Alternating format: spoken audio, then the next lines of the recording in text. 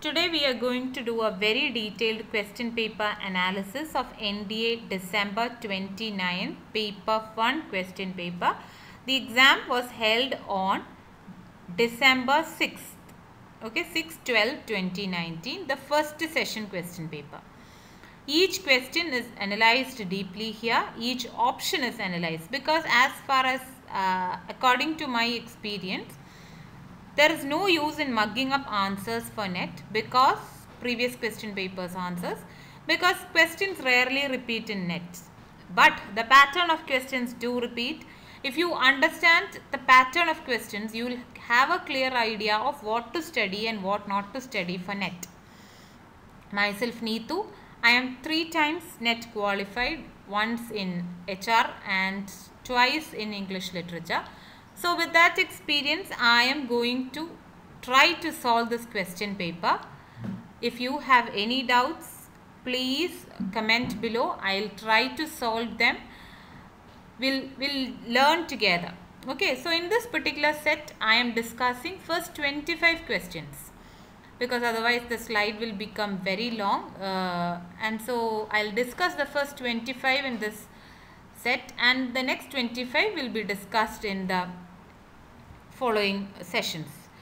So if you like the videos, do like, share and subscribe to people who are preparing for NET because NET preparation is a talent because uh, you don't need to study, you don't need to study everything and go and attend the next exam which is practically impossible.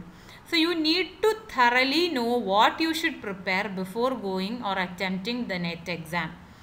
So hope this question paper discussion will throw light on what is actually that you should study. And also while studying the question paper, please do not mug up the answers. Just understand how you reached those answers. Okay. How you landed upon those answers and also make sure to understand why other options, why the other three options how did they manage to enter into this particular question? What is their relevance with reference to this particular question or at least what that options mean? Okay, so studying one question means you get the window opened to four questions. Okay, so that is how you should study for NET exam uh, if you are studying the question papers. So 25 questions we discuss here means 25 questions with 4 options each. You will get the information for 100 questions. Okay, that is how you should solve and uh, for the maths part, I'll recommend every one of you to do 10 uh, similar uh, type questions every day. Make it a habit of yours, especially the art students who doesn't have that much uh, fluency or efficiency in solving maths problems. So what you guys can do is similar pattern questions repeat, repeat and repeat a hell lot of times. You will get mastery over it. Trust me, I have cracked net three times just through mere doing, doing and doing of things. Okay, so let's start. I'm not an expert in the field. We'll try to solve it together. Uh, if there are mistakes, please feel free to comment below. Also, if you like to like uh, to hear other question papers discussed, please comment below. Okay, we are going on to the question paper. December 6th question paper, first session. Okay, paper 1, first 25 questions. The First question, which of the following is true with reference to Anupalabdhi as a means of knowledge? First thing you have to know what Anupalabdhi is, what pramanas are before going to answer this question. Anyway, we'll read the options. I do not cognize the pot on the table, therefore it is absent. I directly perceive the absence of the pot on the table. I infer the absence of the pot on the table since I do not find it here. I know the absence of the pot on the table because I know the similarity with other absences. So, first of all, uh, a student who doesn't know what Anupalabdhi is sure to get confused with all the four options and you are going to mark some option which you feel is correct. But though all the four options look similar in this question, every single option has marked difference from the other, other three options. So for that, we'll go a detailed understanding of pramanas, anupalabdhi and all and then you yourself will be able to spot the right answer. Okay, so here the question, uh, the official answer key says, the first one is the right answer. I do not cognize the pot on the table, therefore it is absent. So we'll see how that answer is reached. Okay. So pramana is basically a theory of knowledge. It refers to how knowledge can be acquired or what are the means of acquiring knowledge. Okay. There are six types of pramana. Pratyaksha pramana. Pratyaksha pramana means knowledge received by our senses. Every morning you go out, look to the east of your house, you can see sun rising there. So you conclude sun rises in the east. You didn't believe others saying that sun rises in the east, but you went out and saw for yourself sun rising in the east. So that amount of information, that piece of information was given to you through your senses. Your eyes saw it directly, right? So that is pratyaksha pramana, which is perceived by your senses. Then the second one is anumana pramana. Anumana pramana is inferential knowledge or logical deduction. For example, there you see a smoke on the mountain and you conclude there is fire on the mountain because whenever you have seen smoke, you have always associated with fire. Be it in the kitchen or anywhere else, wherever there was smoke, smoke was caused by a fire. So, you conclude that there is fire on the mountain. You have not seen the fire, but still you conclude there is fire on the mountain. Okay, the the smoke on the mountain may be due to some other reason. Maybe it, it may be due to a fog, a smoke or something. But since you have only limited information that smoke is always associated with fire, you uh, assume or uh, you infer that there is fire in the mountain. The third one is Upamana pranam, Pramana. Upamana Pramana means it's a comparison. A is related to B and B has the same characteristics similar to A. So A and B are comparable to each other. They are similar or they are equal. Then fourth one, Shabda Pramana. Shabda Pramana is the words of experts in the field. Experts have written books or uh, through their speeches or through their verdicts. You get to know the information provided by them and that is Shabda Pramana. Ardhapati Pramana. Ardhapati Pramana is you are assuming an unknown fact to explain a known fact. Okay, example, if you meet a very fat person, you conclude that uh, he eats so much and that is why he, he has become fat. Maybe he is taking some medicines and the adverse effect of it has caused him to increase, to put on weight. But you always associate fatness or overweight with food and so you immediately uh, inferred or you immediately assumed that this guy is fast, uh, fat just because he eats a lot of food. But maybe the real reason behind him getting fat is not necessarily uh, him eating so much food. Similarly, if you meet a person with lung cancer, you conclude that he is a chain smoker.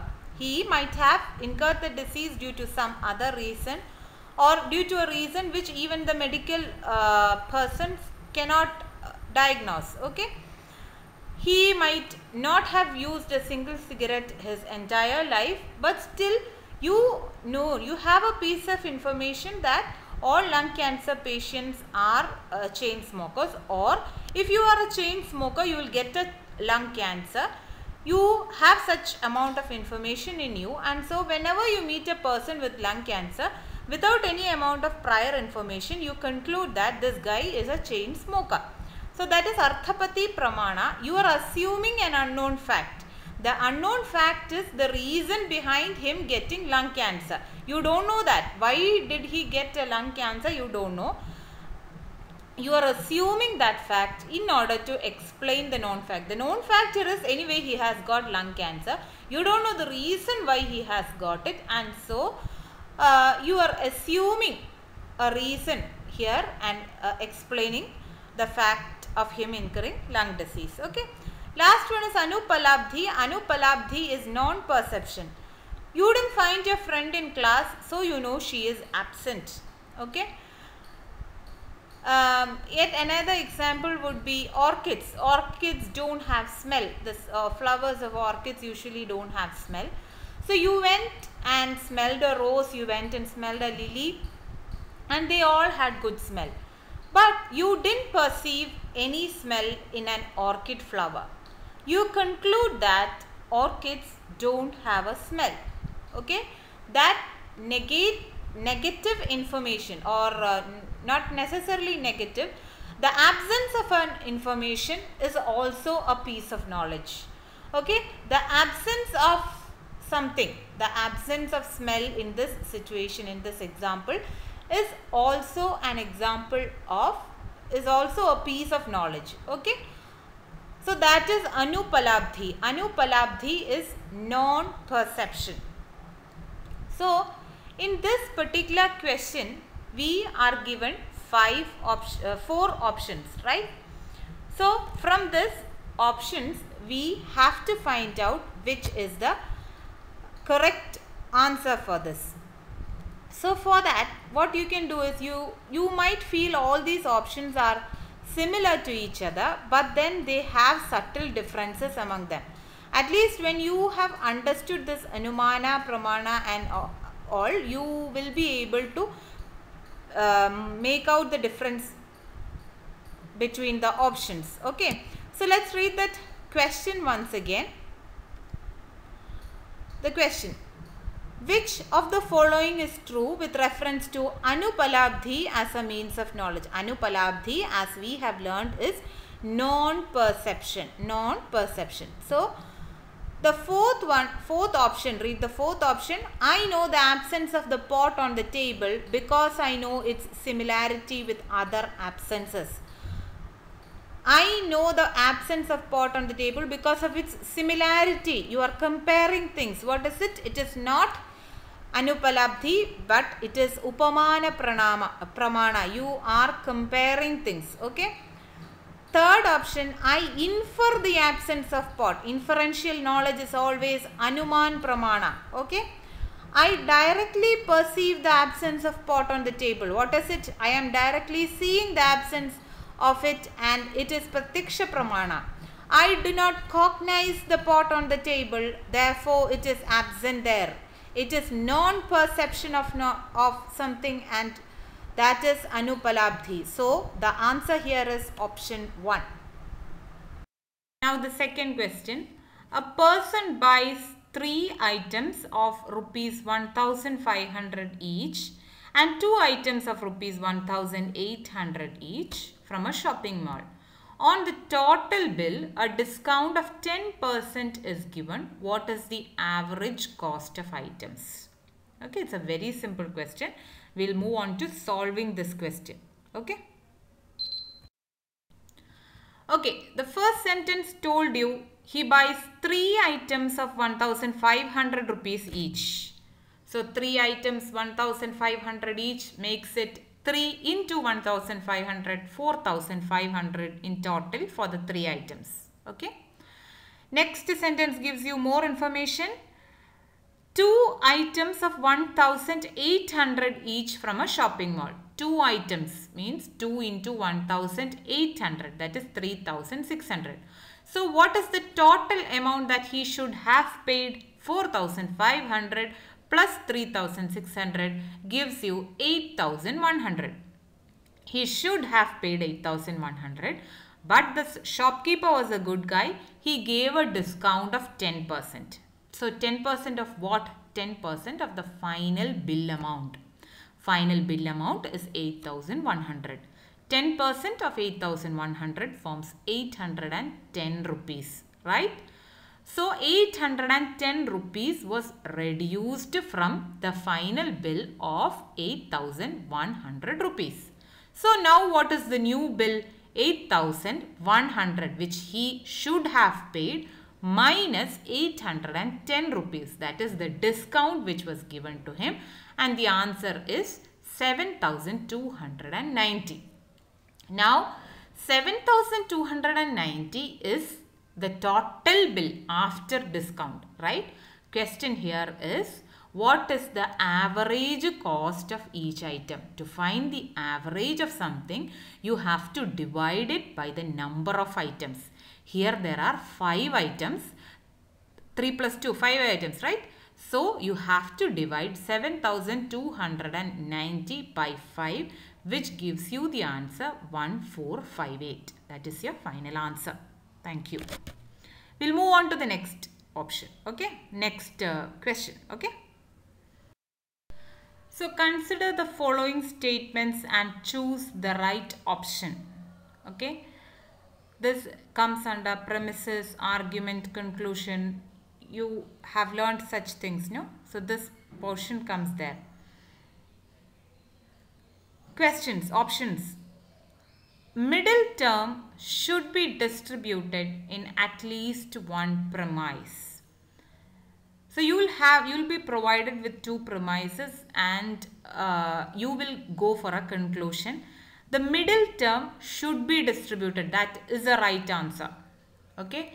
Middle term should be present in the conclusion both premises can be particular in a valid argument. No. Premises can be negative in a valid argument. So in this four options, you have only the first answer, first uh, option as the right answer. So option 3 is the right answer. If you want a detailed description of premises, argument, valid argument, all such topics, please comment below I'll give you a special slide on that. Okay. Moving on to the next question. Which of the following is an example of maximum performance test? Maximum performance test. The answer is aptitude test. Instead of just mugging up aptitude test, we will understand what each type of these tests are. Projective personality test, interest why these are not the answers, we'll understand. Okay. Moving on to the next slide. Projective personality test. Projective personality test is one which allows a person to respond to ambiguous stimuli which reveals his hidden emotions. You will be provided with some confusing stimuli. You will have to uh, respond to those stimuli and your response will be recorded and your inner emotions or your hidden emotions will be judged and studied according to the response you show for these ambiguous stimuli presented to you. That is projective personality test. Second one, interest inventory test. Interest inventory test is usually done in career counseling and uh, in this particular type of test, helps to throw light on the person's interest so that your true interests can be revealed and you land up in a job which you like not a job which uh, the society likes or not a job which your parents like but you are analyzing what you yourself like in a particular job and you are going for that okay that helps you uh, be more comfortable in your career. The third one is aptitude test. Aptitude test is to determine a person's ability or skill in a particular field. So you have entrance test and all, math exam before MBA. All these are aptitude tests. It, it determines your ability or skill in a particular field. Okay.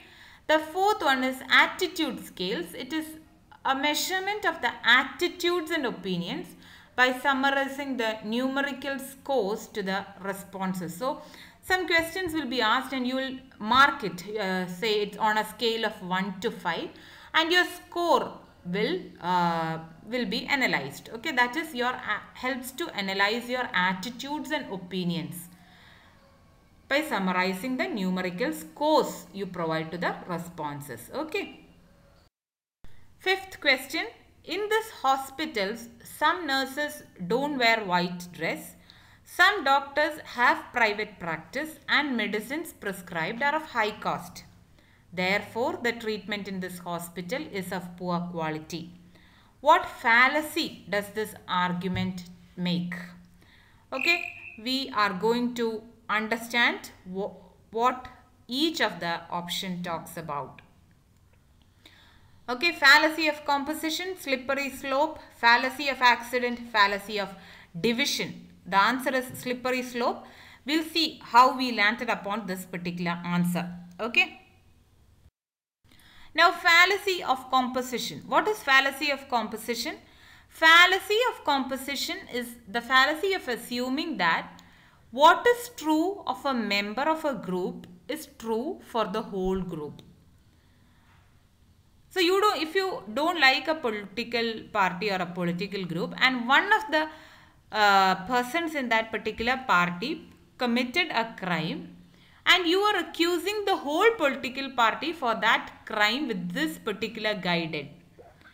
Okay, that is the fallacy of composition. The second one is slippery slope. Slippery slope is a course of action likely to lead to something bad or disastrous.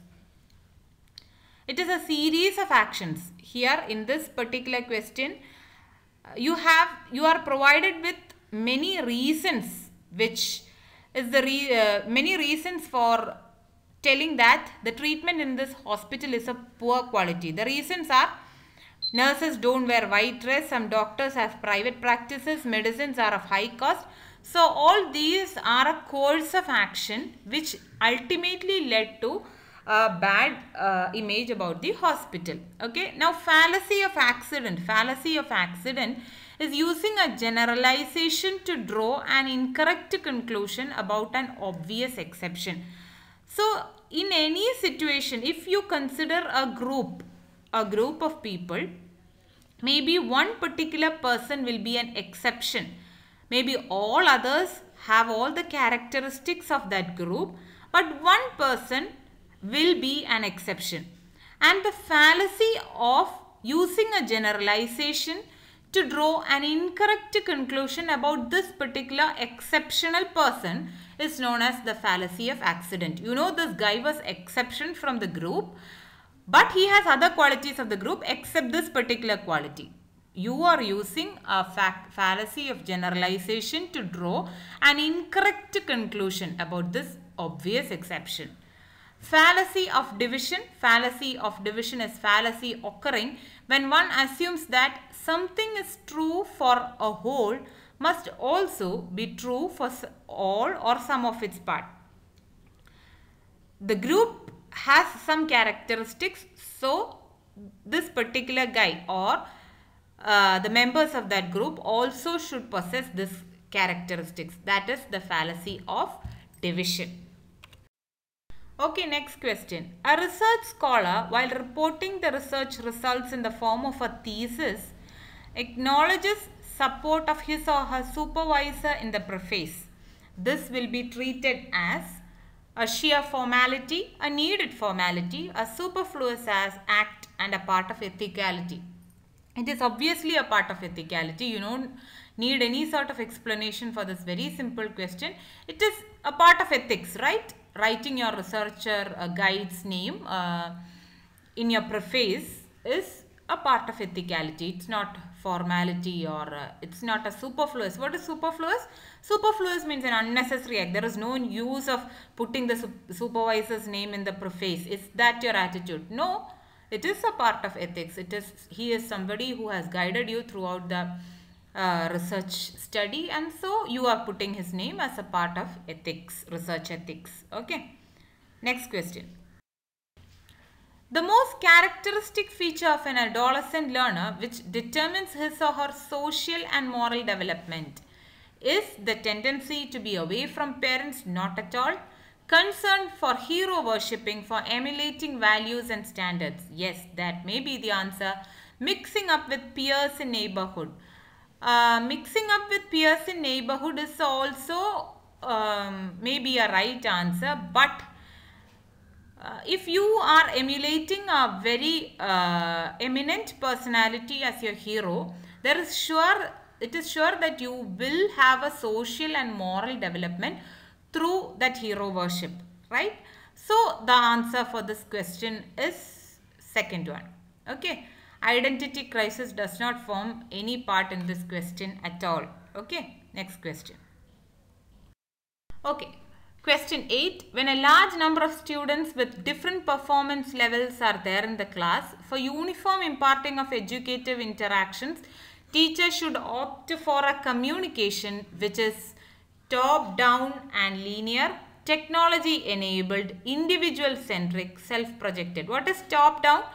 Top down means your superior is communicating to you, your higher official is communi communicating to you, and it's normally one sided. Okay technology enabled means you are using technology you are using for example um, what do you call ppts and all to enhance your knowledge okay third one is individual centric you cannot uh, demand the teacher to be focusing on every single individual in the class okay it is practically impossible for her to uh, go to every individual and ensure that he understands the topic. So that is practically impossible, especially when there are different performance levels of people in the class. Then self-projected. Self-projected uh, is always a one-sided form of communication. So the answer here will be a technology-enabled one because the children who are slower in pace can read the slides uh, can depend on the technology uh, to see what notes the teacher is discussing now. So maybe technology enabled will form a better answer there. Going to the next question. Which of the following teaching methods is contributive to direct learning? Direct learning. Okay. Team teaching and lecturing. Simulation and role playing. Lecture with or without the use of audio visuals participation in workshop and assignments, MOOCs and heuristics, interactive presentations. So, lecturing is always a one-sided teaching method. You cannot ensure that the person on the other side or the student is grasping what the lecturer says to a hundred percent. You cannot be sure of that. So lecturing stands out of the option. Now the first one is gone. Second one simulation and role playing. In role playing is a very good uh, method of learning because you grasp the theories faster when you role play. You are exhibiting that on stage. So for you need for that you need some amount of homework and the role plays you tend to remember more you played a role in that particular skit and so you are going to remember it more lecture with or without the use of audio visuals not necessarily participation in workshop and assignments workshops and assignments you're actually doing things okay doing things has a greater uh, influence on your memory power it has stronger influence on your memory power. So when you do things or when you act things, you tend to learn more, you tend to memorize more. MOOCs and heuristics I'll explain in detail. Interactive presentations. Interactive presentations is also good uh, wherein the audience also gets a chance to interact but it usually it degenerates into a debate session rather than a learning session. Okay, both the sides will debate as to uh, or uh, the audience will take a chance of knowing uh, of uh, examining how much the teacher knows so such ego issues comes there uh, so we'll go for the first option b means simulation and role playing you are actually enacting the situation so you learn more d participation in workshops and assignments E, MOOCs and heuristics. Now what is MOOCs and heuristics?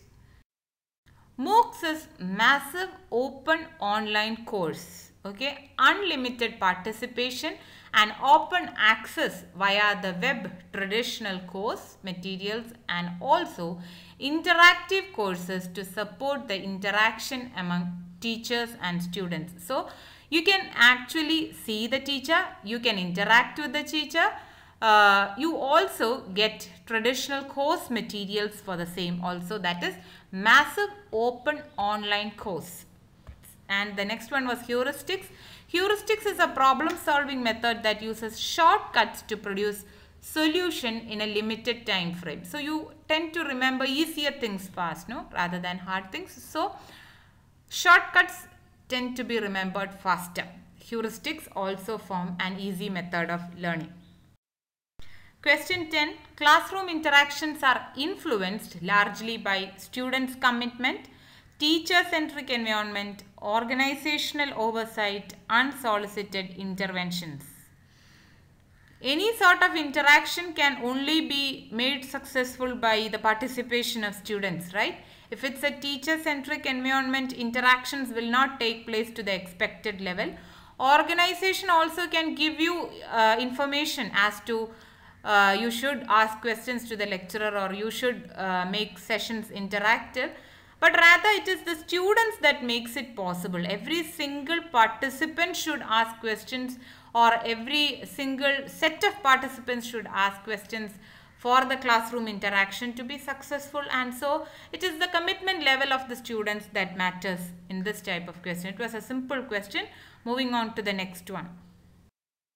Classroom communication is like a computer program. Not at all because classroom communication should be a two-way interaction which is not in the case of a computer program. Dictatorial, the teacher cannot be a dictator in the class who dictates things and the students are supposed to obey or every grasp everything uh, what the dictator suggests. That cannot be possible especially in this um, uh, when everything is so highly developed, when the technology is so highly developed, when students are uh, exposed to uh, exposed to so much amount of knowledge, the teacher cannot uh, remain a dictator in the class. The class should be interactive.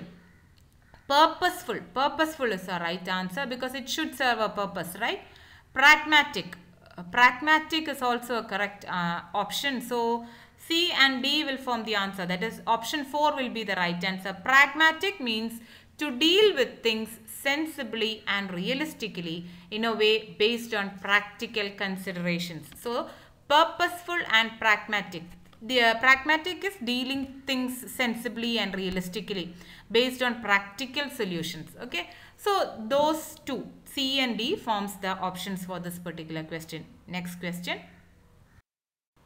The length of the side of a square 5 and 5 centimeter is increased by 1%. What percentage the area of the square increases? We know square have same or equal sides. Okay, if one side is 5 centimeter, all sides are 5 centimeter. And we'll move on to a solution of this particular question. Now, how do you calculate the area of the square? Area of the square is length square, right? Length of each side of the square is 5 centimeter is given, right? So, area is 5 into 5 that is 25. Length is increased by 1%. It is given length is increased by 1%. 1% of what? 1% of the previous length of the side that is 5 centimeter. So 1 by 100 into 5 that gives you 0.05 as the answer. So new length increase in the new length is 0.05. New length is the older 5 plus 0.05. So the new length is 5.05 the new area will be 5.05 into 5.05 that is 25.50. Now the increase in area, how much is the increase in area? That is 25.50 that is the new area minus the original area 25 right. The answer is 0.5. Now, percentage increase in area is equal to increase in area divided by original area into 100. Increase in area is 0.5, original area 25 into 100. You cancel 25 and 100, you get a 4 there. 0.5 into 4 is 2. The answer is 2. Moving on to the next question. A college teacher does research with a view to depict the reality situations relating to home conditions of students and hostels provided for. Which of the following research format will be helpful to do so? The situation here is reality situation should be depicted. Relating to what? Relating to the condition of students and hostels provided. So, we need to understand the types of research before answering this particular question. So, moving on to the explanation of types of research. Experimental research. There are two sets of variables in experimental research. One set acts as a constant and this is used to measure the differences of the second. One is kept in its original surroundings and uh, the difference is measured by subjecting the other one to different situations. Okay. Descriptive, uh, for example, experimental research, uh, you know, you want to prove that plants need sunlight to grow. So, for that, you place two pots of uh, two pots of plants in the sunlight you take away one and keep one in a dark place and the other you keep it in the sunlight and you water both the plants after about a week or two you can see that the plant which was kept in a dark area had actually dried off because it did not have sunlight and the one that was in the that was not put in the shade has uh, has now become a healthier plant. So this type of learning is called experimental learning. Okay, experimental research. The second one, descriptive research. Descriptive research helps us to understand a particular population or a particular phenomenon better. It is for the sake of knowledge that you go for descriptive research. You need to know something in detail about a particular thing, you go for descriptive research. Participant observation based research is researcher not only observes but also interacts and engages with the uh, activities of the participants. Okay, he also engages in the uh, activities of the participants. Ethnographic research is one in which the researcher observes or interacts with the participants in their real life environment. So, here the answer will be participant observation based research because you are observing the children in their uh, real life situations and you are going uh, for a report of what the actual situation of the students is like. Next question. Given below are two statements. One is labeled assertion and the other is labeled as reason. You need to uh, choose the correct option from the above two statements. So, how to solve this type of questions? Just if you, just see if you can connect the two sentences with a because. If you can connect the assertion to the reason with the use of the word because, then you get the answer. I'll show you. Classroom communication is pre-decided by social and institutional demands because positive educative actions should guide learners to acquire knowledge of social significance. If the second part of the sentence, that is the reason, suits the first part of the sentence that is assertion. If it is a valuable reason then you can say that both statements are true. So here classroom communication is definitely pre-decided by social and institutional demands because positive education actions should guide the learners to acquire knowledge and social significance. So both A and R are true and R is the correct explanation of A. Next question. Identify the term x in the following series. This type of questions can be solved only through practice. The each of the integer written here has some connection which they can be connected through some series. So if you understand that series only you can get the answer. You can understand that series only by doing and redoing uh, so many questions of this pattern. Okay. So 3 and 2, how will you reach 2 from 3? You will get like this 3 into 1 minus 1 is 2. 3 then you go for the next integer 4 into 2 plus 3 is 11 okay this same pattern follows the entire series this minus 1 plus 3 minus 1 plus 3 pattern follows the whole series i'll show you 5 into 3 minus 1 14 Fi 6 into 4 plus 3 is 27 so likewise you will get 8 into 6 plus 3 48 plus 3 is 51 and 9 into 7 minus 1 is 62. So 62 forms the answer. First one forms the answer. So uh, every next integer 3, 4, 5, 6, 7 and also it should be multiplied also by 1, 2, 3, 4 like that. And alternate ones should have minus 1 plus 3 format. Okay then you will reach the answer. This type of questions can be solved only i am repeating it again and again.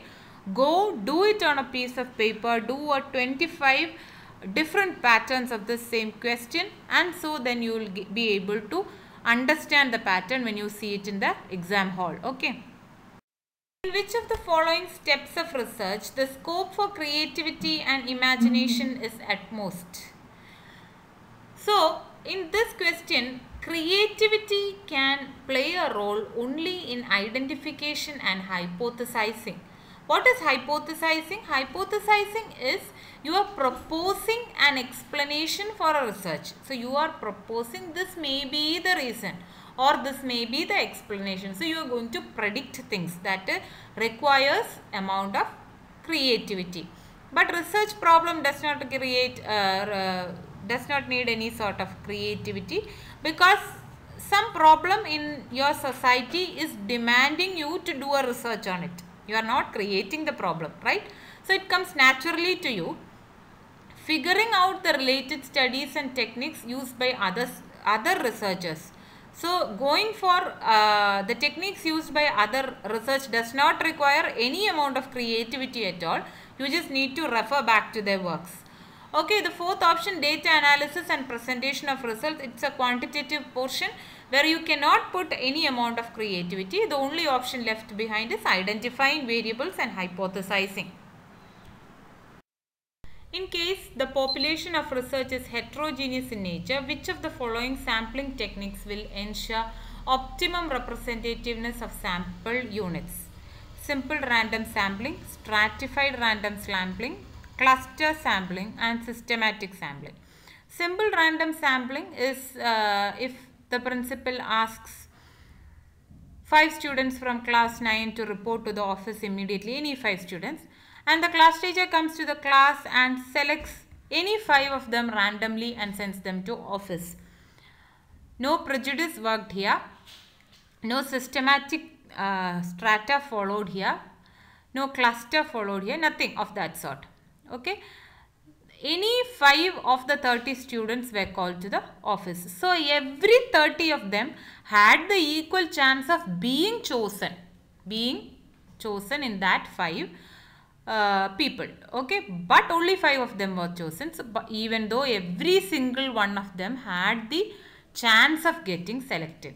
That is simple random sampling randomly you are going for a picking up of the participants Stratified random sampling. Stratified random sampling is wherein you divide the group into stratas. Okay. And then from you divide the group into say boys and girls and three boys and two girls you select. So that is stratified random sampling.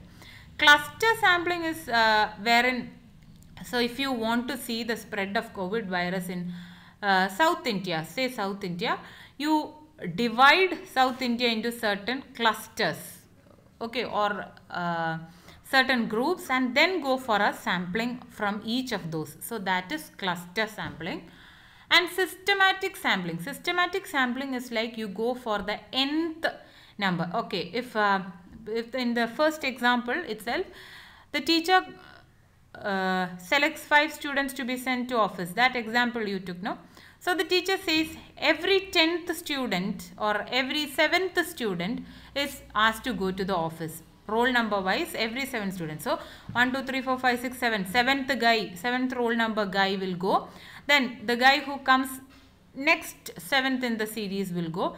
So likewise, the nth element in the group is being selected. That is systematic sampling. Okay. Next. Simple random sampling is a sampling technique where every item in the population has an even chance of being selected. Stratified random sampling, in this type of sampling, the population is divided into smaller subgroups known as strata and items are randomly selected from this strata.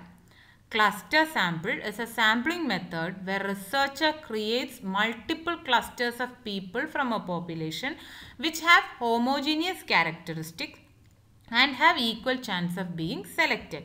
So, uh, in cluster sample, the groups chosen, okay, the groups uh, which are created has people with homogeneous characteristics. For example, if uh, the spread of COVID virus is to be calculated, those people who came from outside India, those people who did not visit outside India, those who people who traveled interstate, likewise the people will be divided into different clusters and from that so the each cluster will be homogeneous in itself so the people who came from uh, Gulf countries or the people who came from uh, Italy uh, or the people who came uh, from interstate who traveled interstate within India, the people who did not travel at all if they have incurred the disease. So that is cluster sample. The sample is divided into different homogeneous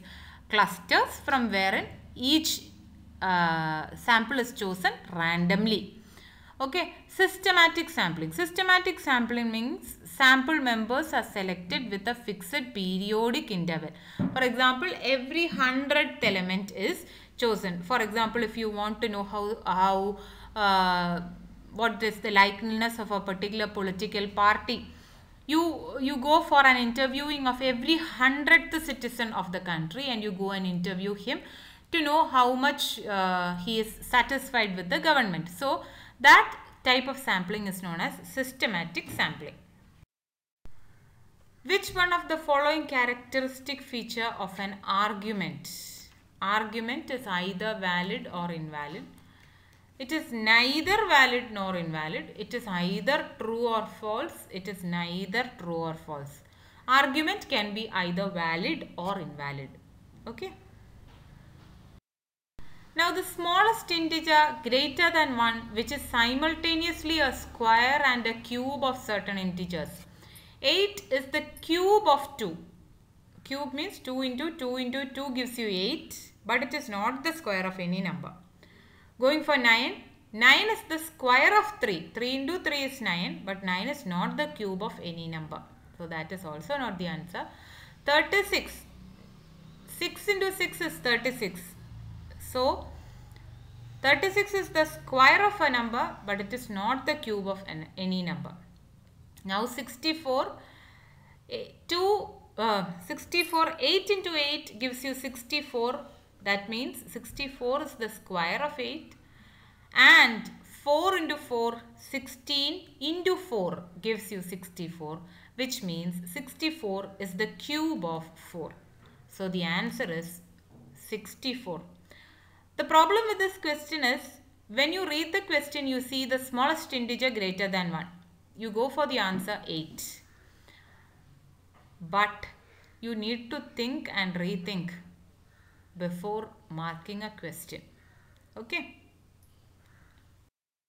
Below are given two sets in which set 1 specifies the four behavior modification techniques while set 2 indicates their exemplification positive reinforcement, negative reinforcement, punishment and extinction. Positive reinforcement. What is positive reinforcement? You do something good. Your mother tells you, oh very good boy, you have done it. You feel energized to do that same act again and again. For example, small children, you teach them to say thank you in public. So once they go out and tell thank you to somebody, mother comes back home and tells very good baby. You said thank you today. You should repeat it every uh, every uh, time. So for that I'll give you a chocolate. So it is positive reinforcement. Child got a chocolate for telling thank you and he is likely to repeat the action just for the sake of getting a chocolate at least. Okay, so that is positive reinforcement. Negative reinforcement is you stop giving something and that uh, also affects the behavior. That is if if the child says some bad words and the mom mother says that he she will not give him chocolate. That is also a negative reinforcement. That is also going to affect the behavior because the act of not giving chocolate has uh, reinforced uh, the habit of using good words. Okay? Punishment. Punishment you all know because you all have uh, got punishment from your parents or teachers through all these years.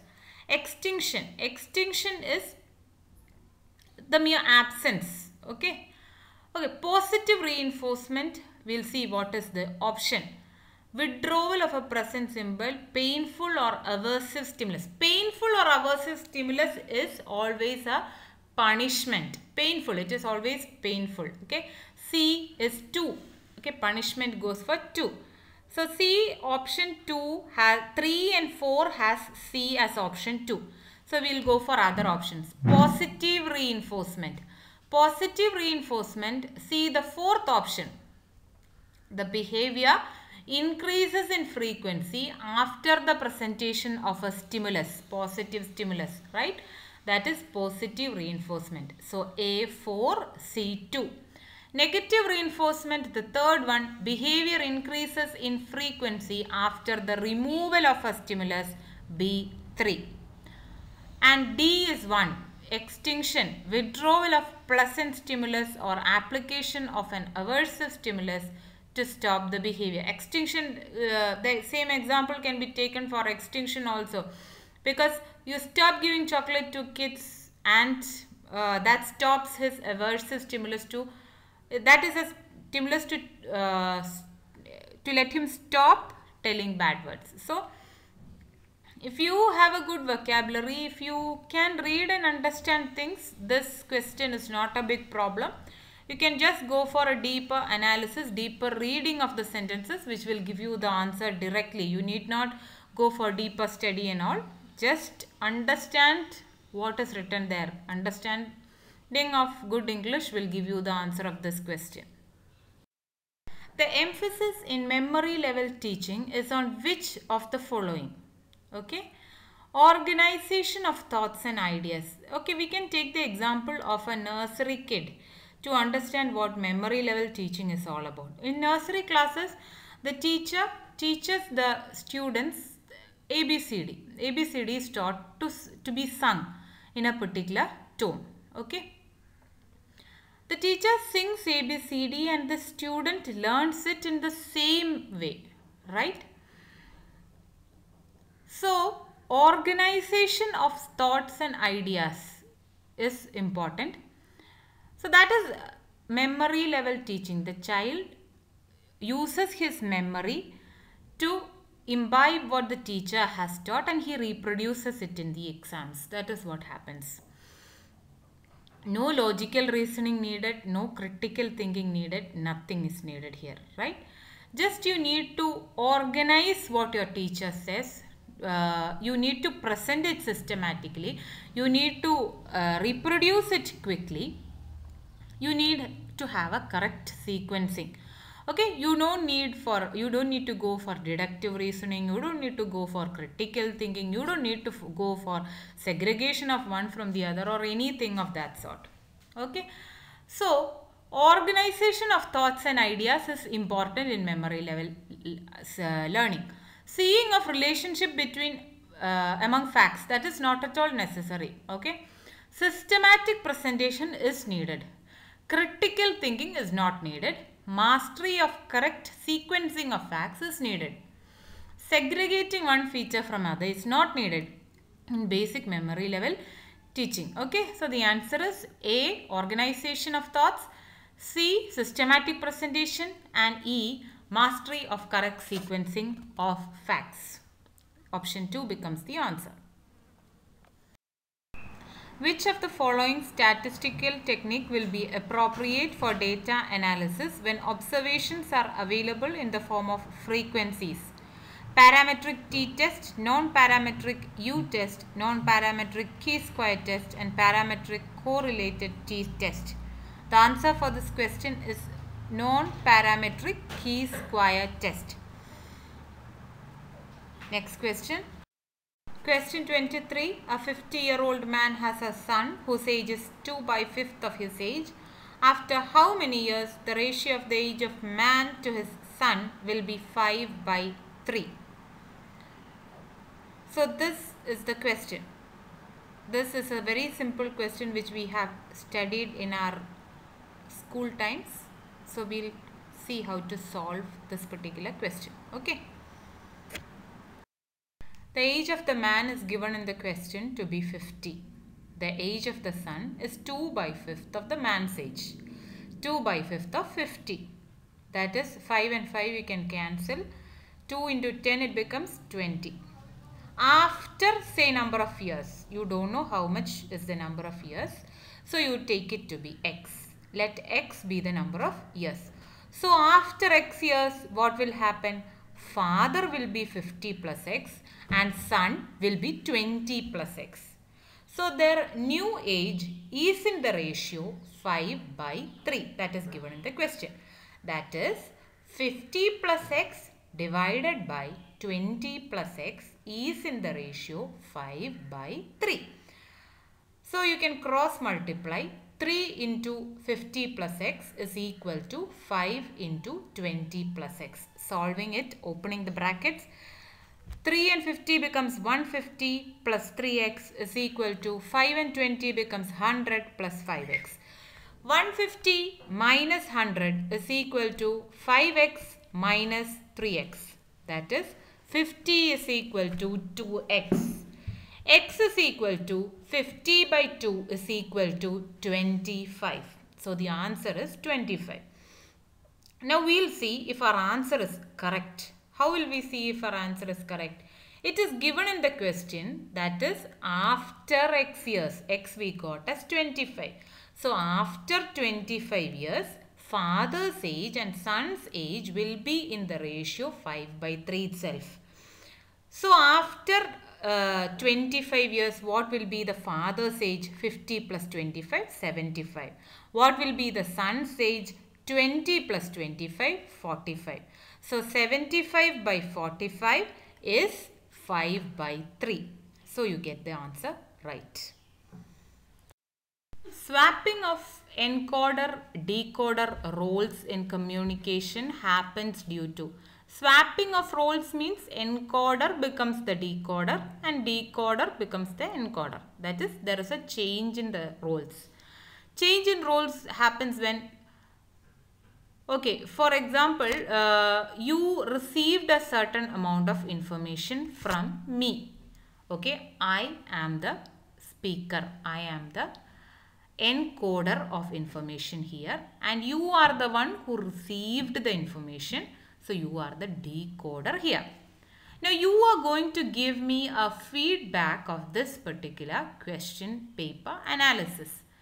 So, then who is the speaker? You are the speaker and I am the receiver. So, you are the encoder and I become the decoder when you give me a feedback. You, we have swapped our roles here. So, the answer for this question is feedback analysis. Noise doesn't come here. Cognitive disruptions doesn't make uh, encoder or decoder, doesn't uh, doesn't influence them. Weak channelization also is not an answer. The answer is feedback analysis. Okay. 25th question. If it rains, then it will drought. The drought has ended, therefore it rained. If it rains, drought will end. Drought has ended, so it has rained. Which kind of fallacy is this? Deductive fallacy, inductive fallacy, abductive fallacy and informal fallacy. We are going to analyze each of these type of fallacies. Deductive means you are going from a general to a particular. Inductive means you are going from a particular to a general.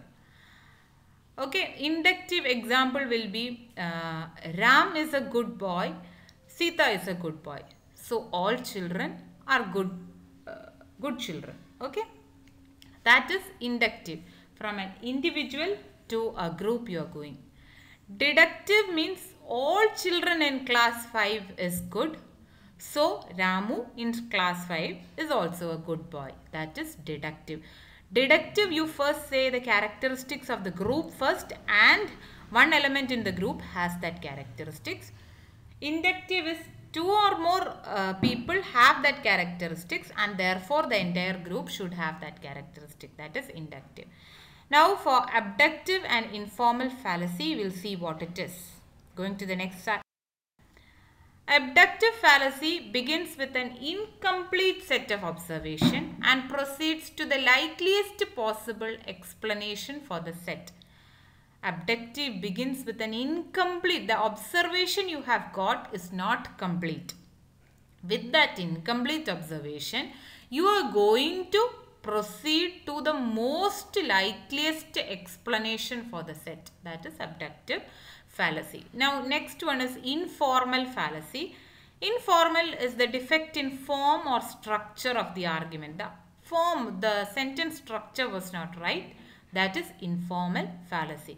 So here the answer is uh, it rains when drought has ended. So drought has ended and it rains which means it rains. The answer is deductive fallacy. So that was it a bit too long a session. The rest 25 questions will be discussed in the next video. Hope you got some idea of the questions asked for net.